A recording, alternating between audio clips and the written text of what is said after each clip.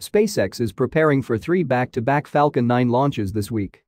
The first of those missions, carrying the Italian space agency's Cosmos SkyMed second-generation satellite, has endured scrubs on Thursday, Friday, and Saturday, all caused by unacceptable weather. This launch from Cape Canaveral Space Force Station will be the fourth Falcon 9 flight of the year and is now scheduled for liftoff on Sunday, January 30 at 6:11 p.m. Eastern Standard Time from Space Launch Complex 40. The Falcon 9 booster, B1052, which has previously flown twice as a Falcon Heavy side booster, will be used for this launch. Cosmo SkyMed, or the constellation of small satellites for the Mediterranean Basin Observation, is an Earth observation satellite funded by the Italian ministry and operated by the Italian Space Agency for both military and civilian purposes. The first-generation Cosmo SkyMed space segment comprises a constellation of four synthetic aperture radar satellites in sun-synchronous polar orbits. United Launch Alliance provided launch services for the first-generation satellites, each weighing 1,700 kilograms. The imagery obtained from these satellites is being used for defense and security assurance, seismic hazard analysis, environmental disaster monitoring, and agricultural mapping. To replace the first Cosmo SkyMed constellation, the Italian Space Agency is developing the Cosmo SkyMed second-generation constellation. These satellites are improved versions of the first-generation satellites and operate in the same orbit as the first-generation satellites.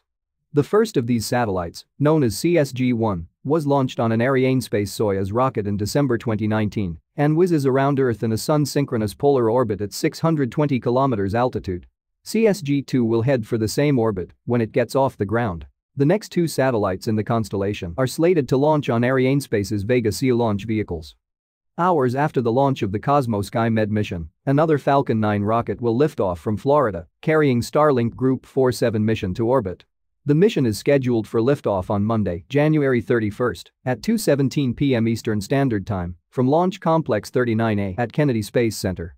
The Starlink mission will be followed by a launch from Vandenberg Space Force Base on February 2, carrying a classified payload for the National Reconnaissance Office into a sun-synchronous orbit.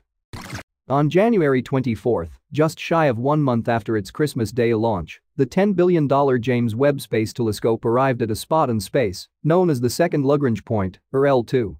Since it launched on December 25, Webb has been undergoing the nail-biting and complicated unfolding and deploying procedure while cruising through space. A final 297-second long thruster firing on January 24 put the observatory in its halo orbit around L2, where the gravity of the sun and the earth effectively cancels each other out, allowing the spacecraft to circle an invisible point as if it were orbiting a solid body like a planet. The telescope team will now begin the three months long process of calibrating its mirrors and turning on the science instruments.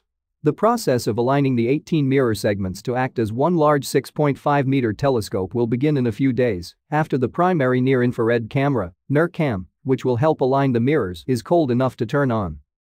According to NASA, approximately once every 21 days, the telescope needs to fire its thrusters briefly for small station keeping corrections to keep it in a 374,000 km white orbit around L2. It was previously thought that the observatory might operate for just 5 to 10 years in space because of its limited propellant supply and the fact that it was not intended to be refueled. However, after launch, the mission team now expects that Webb will have enough propellant to operate for nearly 20 years thanks to the accuracy of the launch itself and two course correction maneuvers. We can expect to see the first light for James Webb in early February with an initial calibration mosaic. That image won't be pretty, and further alignment will result in improved images, and we can expect the first science observations by this summer.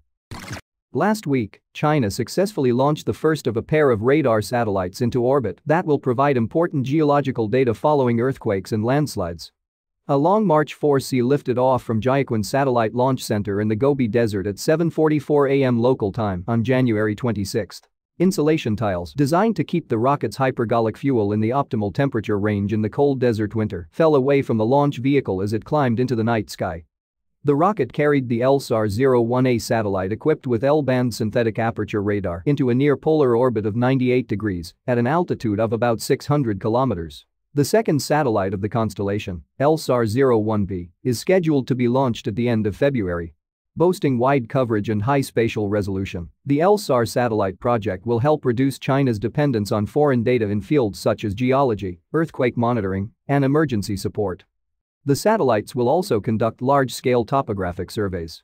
The launch was China's second orbital mission of 2022 and the 407th flight of the Long March carrier rockets. China plans to launch its new generation carrier rocket, Long March 8Y2, between late February and early March this year. After week-long transportation by sea, the rocket arrived at the Wenchang spacecraft launch site in South China's Hainan province last week, where its final assembly and testing work will be completed. The Long March 8 is a 50 meters tall two-stage medium-lift rocket capable of sending a payload up to 4,500 kilograms to sun-synchronous orbits at an altitude of 700 kilometers and a payload up to 8,400 kilograms to a low Earth orbit. The rocket succeeds Long March 8Y1, which made its maiden flight on December 22, 2020, launching five satellites into orbit. A planned future variant of the Long March 8 will be reusable, with its first stage and boosters retrieved through vertical landing. Japanese space debris removal startup, Astroscale, has halted an autonomous capture demonstration in low Earth orbit after detecting anomalous spacecraft conditions. Astroscale's ELSA-D program is an end-of-life services demonstration mission tasked with proving out the technologies involved with debris docking and removal the company said that during the demonstration on January 25, a 175 kg servicer spacecraft successfully released its 17 kg client spacecraft and began autonomous relative navigation. But after an excellent start, the team detected anomalous spacecraft conditions, and for the safety of the mission, they decided not to proceed with the capture attempt until the anomalies were resolved. Astroscale did not specify what the anomaly was, but confirmed that both spacecraft are operational and safely separated. While the servicer had successfully used its magnetic mechanism to release and recapture the client in an August 25 test, the test on January 25 aimed to demonstrate autonomous capabilities for a larger scale mission. For Astroscale's manual demonstration in August, the servicer and client were separated by a few centimeters. However, during the autonomous test on January 25, the client spacecraft had separated from the servicer by tens of meters. The satellites have been in low Earth orbit since they were launched together on a Soyuz rocket on March 22, and Astroscale plans to initiate a controlled deorbit phase after completing ELSA-D's main demonstration elements. Now, let's discuss some of the major Starship updates from the past week. NASA's Aerospace Safety Advisory Panel held a telephonic public meeting on January 27, during which the panel provided updates on the Human Lunar Exploration Program and the progress of the Starship lunar lander. According to Michael Sheetz, a CNBC space reporter who attended the meeting, SpaceX provided NASA with an integrated master schedule on HLS Starship development earlier this month. However, NASA did not provide many details about the schedule. Currently, the Starship lunar landing system, capable of transporting more than 100 tons of cargo to and from the lunar surface, is scheduled to launch in 2024.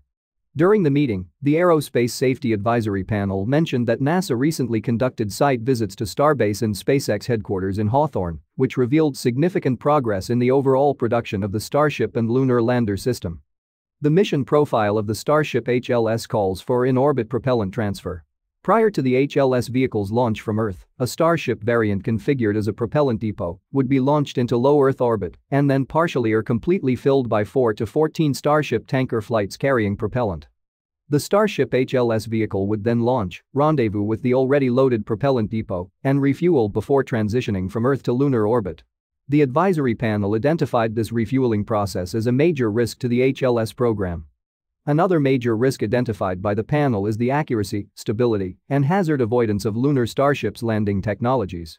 Other risks associated with the Starship human landing system include software and hardware integration, flight rate, hardware turnaround times, and reuse. According to NASA, the agency is working on all of those risks to make sure that it's comfortable with the approach that SpaceX is proposing. Moreover, there will be uncrewed test landings prior to the first human landing to mitigate the risks. In November, Elon Musk sent an email to SpaceX employees stating that the Raptor engine development is behind schedule. Musk claimed that after key senior management departed the company, SpaceX personnel looked deeper into issues surrounding Raptor production and found them to be far more severe than was reported. According to the Aerospace Safety Advisory Panel, SpaceX recently gave NASA a good understanding of some of these challenges. Recently SpaceX has hinted at its desire to develop marine recovery systems for the Starship program in a series of new job postings. Despite repeatedly revealing plans to develop marine recovery assets for Starship, SpaceX's recent job postings made no mention of the company's plans to transform oil rigs into floating Starship launch pads. Previously, a tug was used to transport SpaceX's Falcon 9 recovery ships to their oceanic position, however, they are now fully autonomous. But towing or autonomously transporting an entire oil rig hundreds of kilometers to and from the port is not an efficient or economical solution for Starship recovery. It also wouldn't make sense for SpaceX to hire a dedicated naval architect without mentioning that they'd be working on the world's largest floating launch pad. Thus, there are only three plausible explanations for the job postings. First, SpaceX may be simply preparing for the potential recovery of floating ships or boosters after intentionally expending them on early orbital Starship test flights. Second, SpaceX may have plans to strip oil rigs without fully converting them into launch pads and then use those rigs as permanent landing platforms at sea. Third, and perhaps most likely, SpaceX may be investigating the benefits of landing super heavy boosters at sea.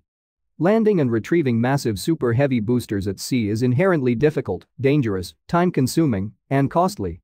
Furthermore, this makes rapid reuse nearly impossible and invariably raises the cost of recovery. However, certain mission profiles may make it impossible for the booster to return to the land due to a lack of sufficient fuel on board. In those circumstances, a floating booster landing platform will be unavoidable. Works on the orbital launch tower are progressing at the Starbase. On August 25, SpaceX performed movement checks on the Starship Quick Disconnect arm. Cameras were recently installed on the booster catching arms to capture close-up footages during booster and ship stacking operations. Starship 20 is currently parked next to the launch tower, and we may soon see the catching arm lifting and lowering the ship as a practice run before the actual stacking process. A 10,000 feet temporary flight restriction and road closures notifications were recently posted on official websites, possibly for static fire and cryo-proof testings. Construction of the fourth level of the wide bay has begun at the build site. Two new overhead cranes were recently delivered to the Starbase for installation into the wide bay. A similar crane is currently in use inside the high bay for super heavy stacking. The recently delivered cranes have a maximum load capacity of 150 tons. The Booster 2.1 test tank completed its crush test and was removed from its test stand recently. Ship 22's tank sections were stacked, and the Booster 8's forward dome was sleeved last week. With this, we have covered all the major updates from last week. Please share your thoughts on the latest science news and Starship updates in the comments section. Also, do not forget to subscribe to the channel for more weekly updates. And as always, thanks for watching.